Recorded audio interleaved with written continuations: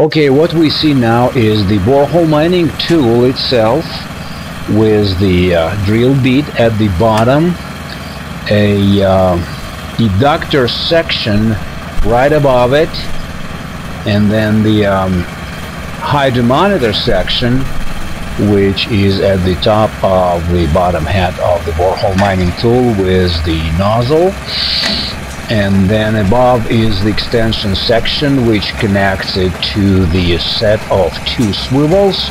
And now we are testing the uh, 12 millimeter nozzle for the first time because we want to know how the tool will survive the um, elevated pressure.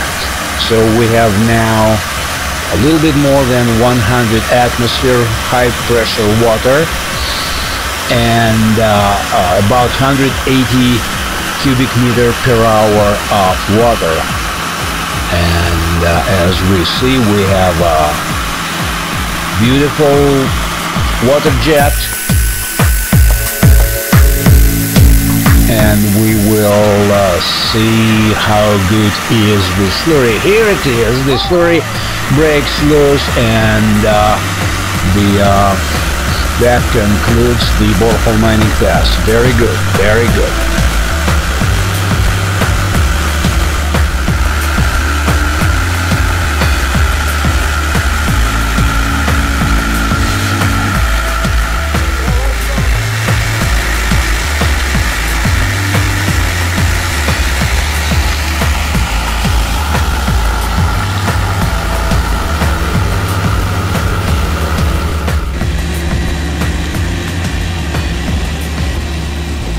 嘿嘿嘿。